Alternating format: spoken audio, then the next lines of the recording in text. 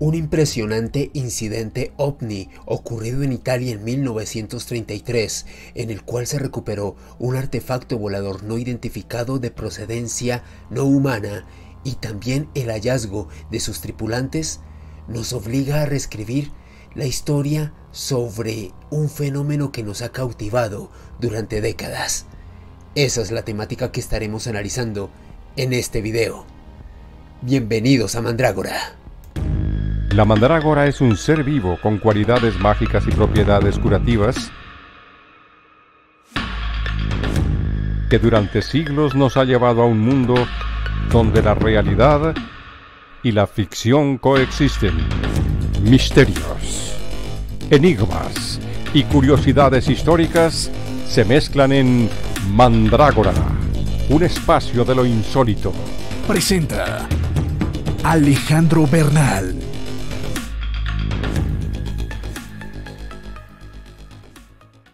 Si quieres estar informado con todas las novedades en el ámbito del misterio, te invito a que te suscribas a este canal y actives la campanita de notificaciones.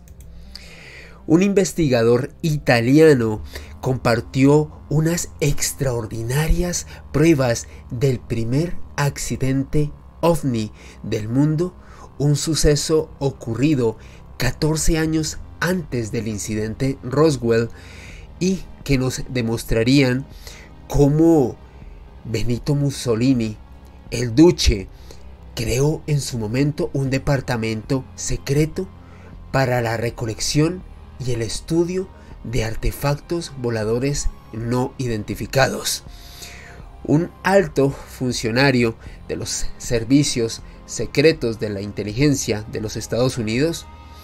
afirmó recientemente que durante la Segunda Guerra Mundial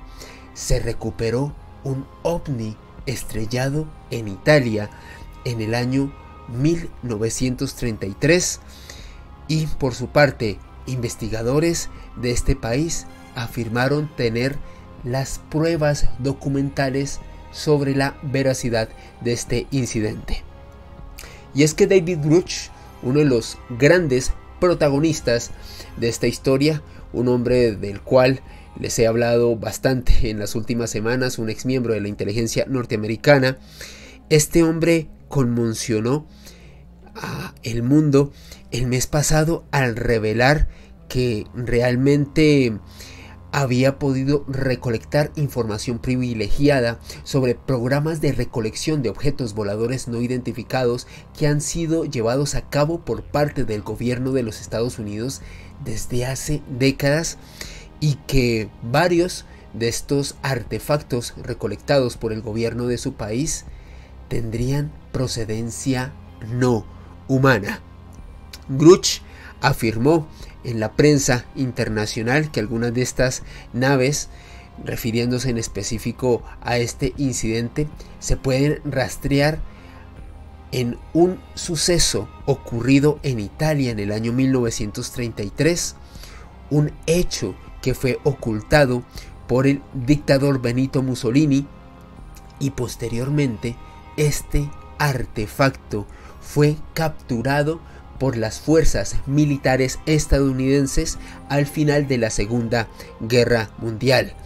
David Gruch fue informado de este incidente ocurrido en junio de 1933 por parte de un empleado quien trabajó directamente en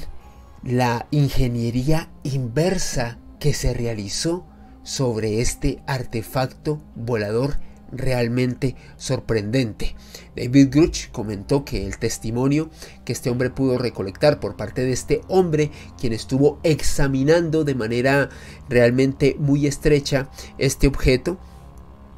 pues eh, concluyó que realmente esto se trataba de tecnología no humana y que hacía parte de un programa secreto que había sido desarrollado por parte del gobierno estadounidense. En una entrevista que brindó el reconocido ufólogo e investigador italiano Roberto Pinotti al prestigioso diario británico Daily Mail, este hombre compartió algunos detalles realmente extraordinarios sobre este incidente que realmente nos obliga a reescribir la historia sobre todo lo que conocemos respecto al fenómeno ovni a nivel mundial. Pinotti, quien actualmente es presidente del Centro Ufológico Nacional de Italia, el CUN, obtuvo documentos que según él prueban que este accidente ocurrido el 13 de junio de 1933 realmente le permitió al duce algunos de sus lugartenientes en Italia el poder acceder a tecnología proveniente de un artefacto volador no identificado. Este hombre, Roberto Pinotti, junto al investigador Alfredo Lisoni, empezaron a investigar este suceso hacia el año 1996, cuando algunos testigos e informantes les hicieron llegar algunos documentos originales sobre este caso, documentos oficiales del gobierno italiano en ese año 1933. Estos documentos fueron enviados por parte de una fuente anónima. Pinotti los recepcionó, los investigó y algo muy curioso a la hora de recibir estas pruebas documentales, de acuerdo al testimonio de Pinotti, es que esta fuente anónima manifestó que conocía este material ya que lo había heredado al haber estado trabajando en aquella época en el gobierno de Benito Mussolini. En específico, parte de la documentación que recibió este importante ufólogo italiano, Roberto Pinotti, está constituida por dos telegramas que están con la fecha de junio de 1933. Por su parte, uno de estos documentos, ustedes lo aprecian en este momento en sus dispositivos, exige silencio absoluto sobre un supuesto aterrizaje en suelo italiano de aeronaves desconocidas. Otro de estos eh, documentos, de estos telegramas, tiene la fecha del 13 de junio de 1933 y amenaza con arresto inmediato y penas máximas para cualquier periodista que informe sobre un avión de naturaleza y origen desconocidos. Por su parte, eh, esta misiva, estas pruebas documentales que este investigador italiano ha recolectado con el paso de estos años demuestran que estos documentos ordenan la inmediata refundición de todas las informaciones de lo que los periódicos difundan sobre este suceso. Es más, estos documentos contienen la firma personal del mismísimo Duce de Benito Mussolini. También parte de las pruebas documentales que recolectó este importante investigador Roberto Pinotti están constituidas en este dibujo que ustedes aprecian en este momento Básicamente, estos son unas notas manuscritas en un papel con membrete de una agencia gubernamental del gobierno italiano que tienen la fecha de 22 de agosto de 1936, es decir, tres años después del suceso ocurrido en 1933. Estas notas incluyen un croquis y una descripción bastante particular sobre ese extraño artefacto cilíndrico que de acuerdo a los testigos presenciales y a las personas que pudieron documentar este suceso, realmente tenía unos ojos de buey a los lados, también estaba constituido por unas luces blancas y rojas y fue avistado sobrevolando el norte de Italia. Otros documentos enviados a Roberto Pinotti, entre los cuales están este que ustedes aprecian en este momento en sus dispositivos, hacen referencia a un misterioso departamento gubernamental creado por Mussolini, una institución denominada como el Gabineto RS-33, un gabinete de investigación especial creado por Mussolini para gestionar la recuperación y el estudio de los restos de este tipo de incidentes relacionados con artefactos voladores no identificados. Pinotti, respecto a esta institución creada por el Duce en la década de los 30 en Italia, comenta que esta institución estaba siendo monitoreada y dirigida por este importante inventor que ustedes aprecian en este momento, Guglielmo Marconi, un hombre quien fue ganador del premio Nobel y a quien se le reconoce al menos oficialmente como el inventor de la radio. Al día de hoy, gran parte de la comunidad de historiadores romanos e investigadores del fenómeno ovni no han encontrado una prueba realmente concluyente sobre la participación de Marconi en esta institución que se encargaba de examinar este tipo de artefactos voladores no identificados. Sin embargo, es una hipótesis que cada vez ha cobrado mayor relevancia al respecto. Pinotti también informó que recibió notas manuscritas que realmente demostraban que este incidente llamó mucho la atención del gobierno italiano hace prácticamente un siglo. Y es que este hombre realmente tras poder acceder a buena parte de la documentación, documentación que ustedes aprecian y han observado a lo largo de este dossier, señaló que realmente algunos de estos indicios, de estas pruebas documentales, señalan a un lugar conocido como Siai Marchetti de Vergiati, una instalación aeronáutica que fue ubicada muy cerca del lugar en el cual se produjo el accidente. A propósito, ahí aprecian estas instalaciones, como se dan cuenta por el letrero, fundada en el año 1910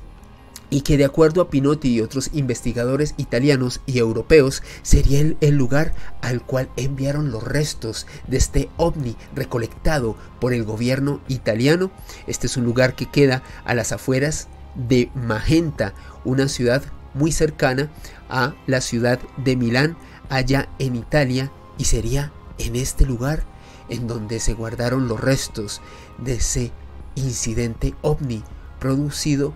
en junio de 1933. De acuerdo a fuentes históricas, este lugar evitó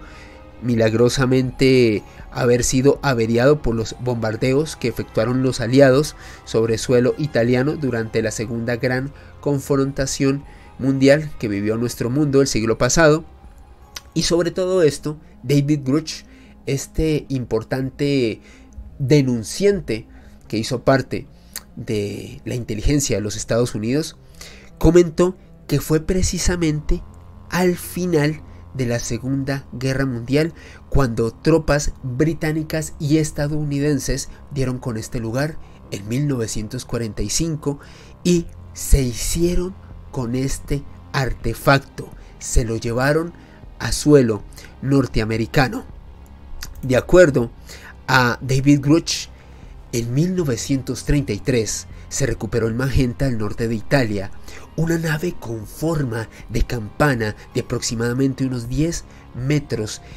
de longitud. El gobierno de Mussolini la conservó intacta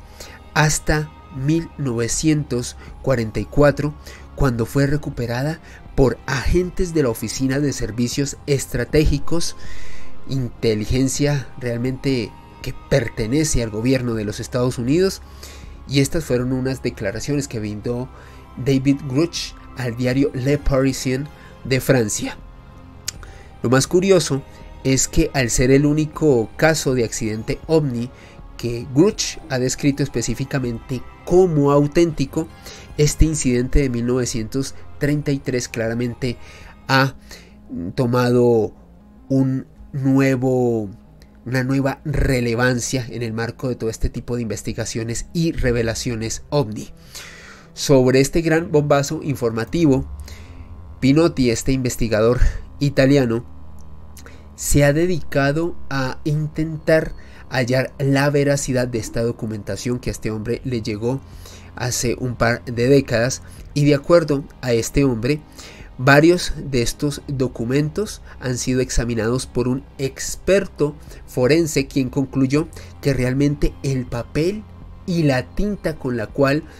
eh, fueron eh, creados estos documentos realmente corresponden al año 1933, al menos en ese aspecto si hay una concordancia con la fecha en la cual ocurrieron estos sucesos.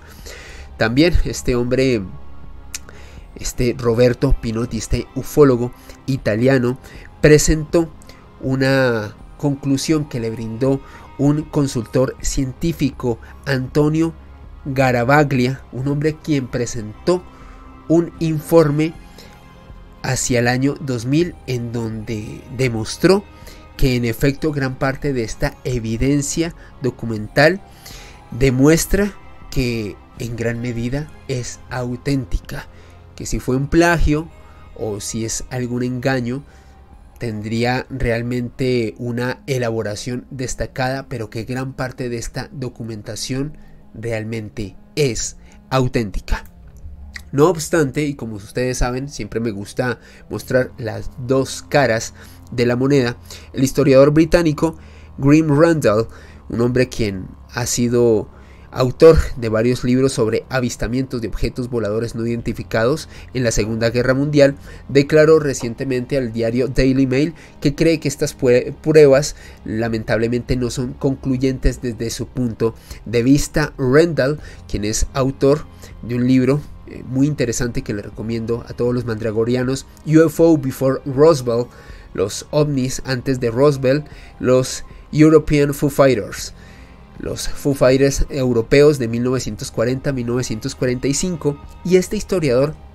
señaló un detalle bastante interesante sobre algunos memorandos que pudo eh, este hombre examinar, memorandos del año 1936 por parte de militares italianos. Y es que realmente se describe como algunos de estos aviadores italianos en la época de los 30 del siglo pasado fueron incapaces de alcanzar a un artefacto volador no identificado que era descrito con una velocidad de 130 kilómetros por hora en aquel entonces. Dice este hombre, Grim Randall, que claramente si este artefacto en realidad se movía a esta velocidad, Claramente un avión de combate de la Fuerza Aérea Italiana de la época hubiese podido no solamente alcanzarlo, sino sobrepasarlo. Eran realmente vehículos que tenían una capacidad de velocidad mayor y que realmente este detalle le hace poner en tela de duda la, la veracidad sobre este incidente. Pero ante esta polémica suscitada por este suceso ocurrido en junio de 1933, se suma un testigo que recientemente ha sido entrevistado no solamente por el Daily Mail, sino por otros importantes periodistas en Italia, un hombre llamado Marco Negri, cuya familia vive en el norte de Italia, y quien le comentó al diario británico Daily Mail que su tatarabuelo le contó realmente historias que realmente tienen concordancia con este incidente ovni ocurrido en 1933. De acuerdo a Marco Negri, su tatarabuelo Pietro Negri fue alcalde de Arona desde los 20 hasta los 50 años. Esta es una localidad que está ubicada a 16 kilómetros de Vergiate, el lugar en donde se encuentra este almacén en el cual guardaron los restos de este incidente ovni. De acuerdo a Marco Negri, su tatarabuelo Pietro le comentó a su progenitor que realmente este suceso ocurrió. Este incidente se produjo en 1933 y lo que Pietro le comentó en su momento a, la familia de este hombre de Marco Negri es que cuando él era burgomaestre de esta localidad, le comentaron que el gobierno italiano, los militares de este país, habían recuperado a un avión de metal sin alas que se estrelló en alguna zona colindante entre Vergiate y Magenta. Este hombre, pues, al ser realmente una persona que tenía un puesto privilegiado dentro de su pueblo, se enteró que por orden específica del duce desde Roma se pidió total censura periodística sobre este accidente. Y es que la policía secreta fascista fue enviada a las ciudades de los alrededores para mantener a la gente silenciada sobre este suceso. Marco Negri comentó que su tatarabuelo, Pietro, como jefe de la ciudad y también como parte fundamental del cuerpo de policía, pudo acceder a los telegramas oficiales que dan veracidad sobre este accidente.